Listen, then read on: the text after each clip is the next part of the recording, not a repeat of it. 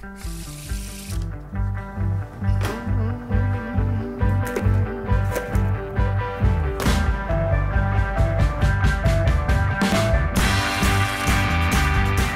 and time again, you know, when I'm doing street magic, I'll walk up to someone and, and I can just see that they're they're against me, right? They don't want to be amazed. They don't want this experience to happen.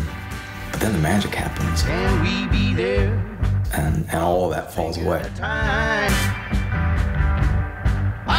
Some will say. Come on, man. Matters a little bit.